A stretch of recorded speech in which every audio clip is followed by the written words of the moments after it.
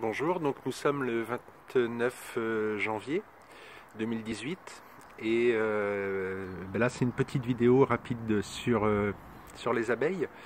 Donc l'activité des ruches a repris, a reprise pardon. Donc est là depuis quelques jours, le, le, camélia qui est à côté de la maison donc est en fleurs.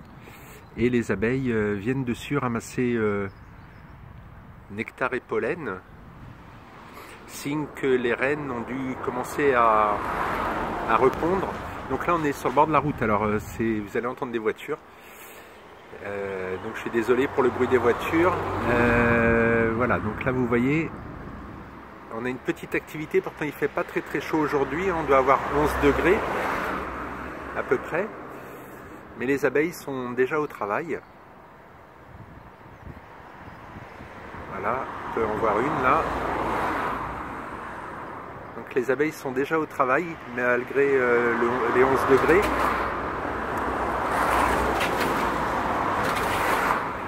Malgré les 11 degrés, je disais, je suis désolé hein, pour le bruit des voitures. Et euh, bah, malgré la petite fraîcheur, ça bosse déjà. je vais dézoomer un petit peu.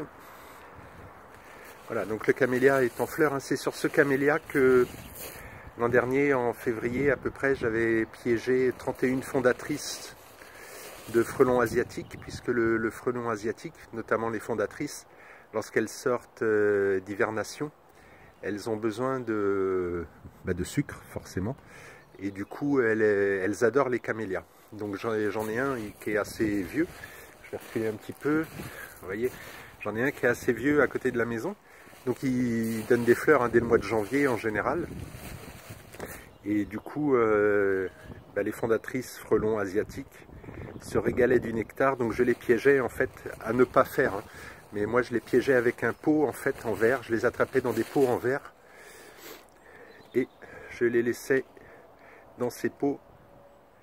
Il y en a une qui est en train de se reposer là.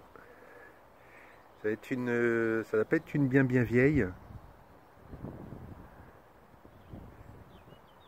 Elle a un petit peu de pollen euh, sur les pattes arrière. Ça y est, c'est reparti.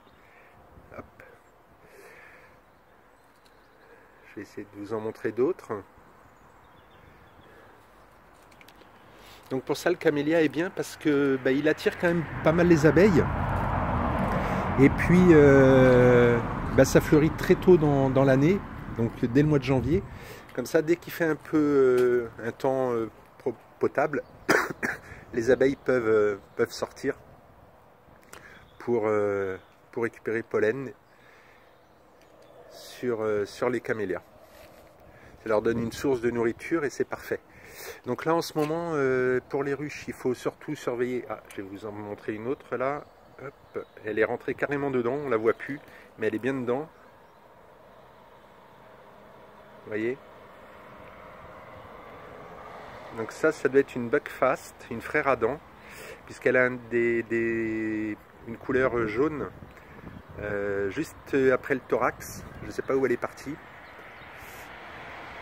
Moi, j'élève que des buckfast, enfin que des frères Adam, puisqu'on n'a plus le droit de dire le, le mot buckfast, puisqu'il est protégé. Tout est bon pour se faire du fric, n'est-ce pas? Donc, euh, frère Adam. Donc, c'est principalement ce que j'élève.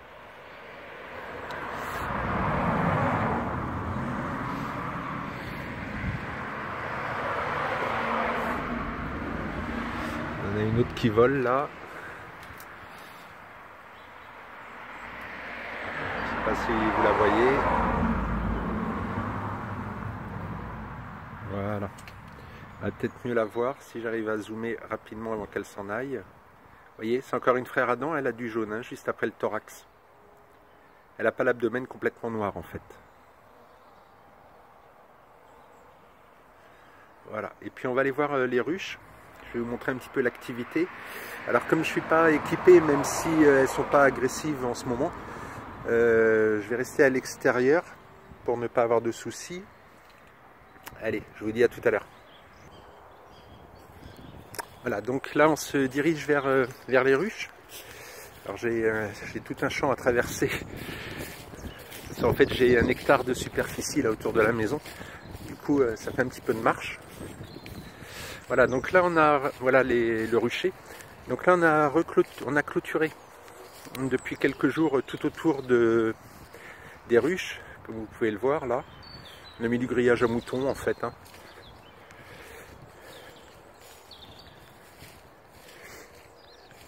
Voilà. Et donc la rangée de ruches, euh, sur cette rangée, on a seulement 5 ruches d'habité.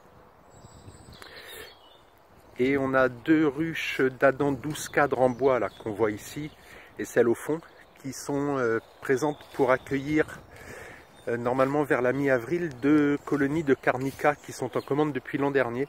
Donc l'an dernier, la, la livraison n'avait pas pu avoir lieu suite à une rupture de stock. Donc ça a été reporté à cette année, en croisant les doigts pour qu'on en ait.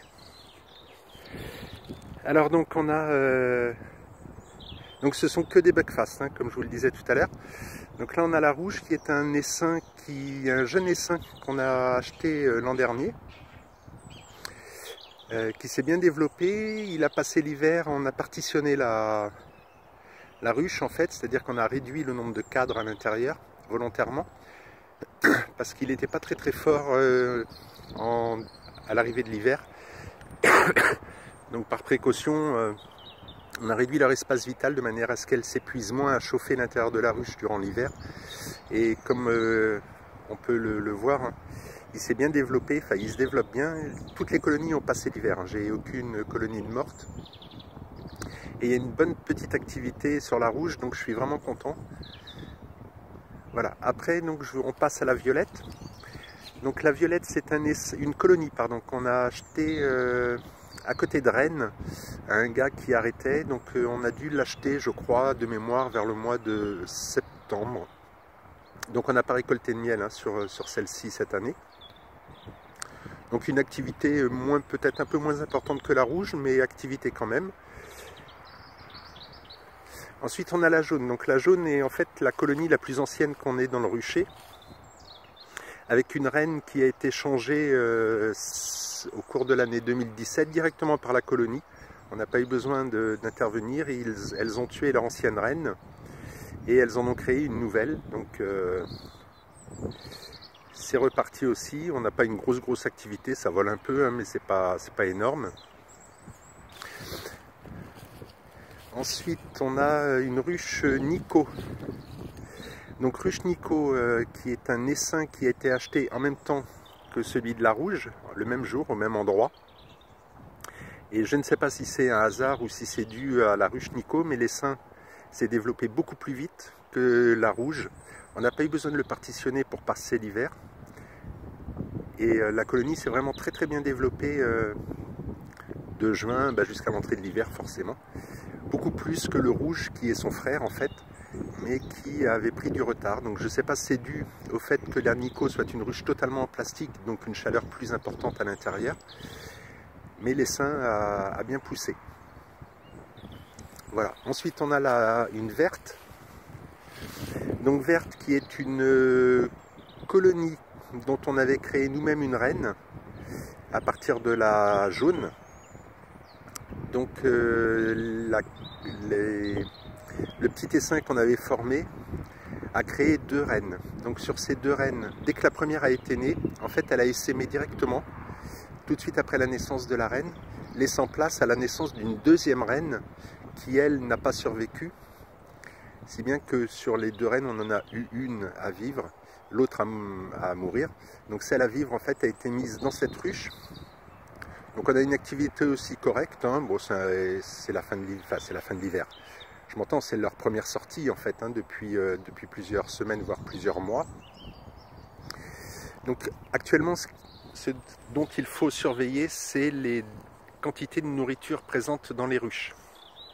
Très important, puisque théoriquement, les rennes ont commencé à répondre. Alors tout doucement, hein, c'est pas la cadence euh, estivale, mais euh, les rennes commençant à répondre, les, les abeilles forcément vont consommer plus donc il faut faire bien attention à ça.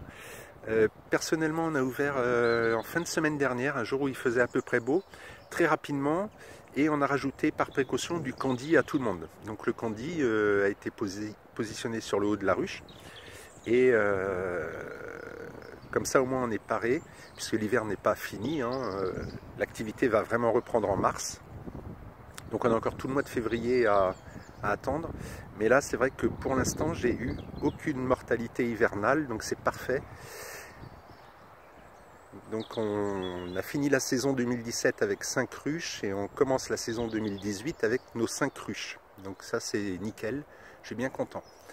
Voilà, donc on a sinon commencé à réaménager ben, l'ensemble du rucher, c'est-à-dire que, vous voyez, on a commencé à ramener des parpaings parce qu'on va essayer de passer à une dizaine, voire un peu plus de ruches pour la saison 2018. Donc en fait, elles vont s'intercaler euh, en quinconce devant la rangée déjà existante.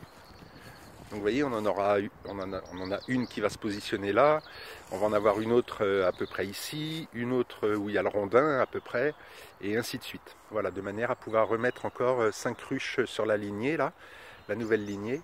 Et voilà, donc j'espère que 2018 marchera aussi bien que 2017. Et cette année, je vais essayer de créer mes propres rennes. Donc ce sera une première un peu pour moi, puisque l'an dernier, on l'avait on fait, mais c'était vraiment un essai. Mais là, euh, j'ai envie de me lancer et puis d'essayer de créer, euh, essayer de créer, euh, je sais pas, 7, 8, 10 rennes pour voir un petit peu ce que ça donne. Voilà les loulous, et eh bien écoutez, euh, ça faisait longtemps que je n'avais pas fait de vidéo, je sais, j'ai déménagé, donc voilà, je ne travaille plus, je suis à la retraite maintenant depuis euh, un peu plus d'un mois. Et voilà, j'avais beaucoup de choses à faire, donc j'avais laissé de côté YouTube, mais j'essaierai à nouveau d'avoir une, une, activité euh, vidéo un peu plus soutenue. Voilà les loulous. Allez, je vous laisse. Et puis je vous souhaite une bonne semaine. Et puis je vous dis à à très bientôt. Babouille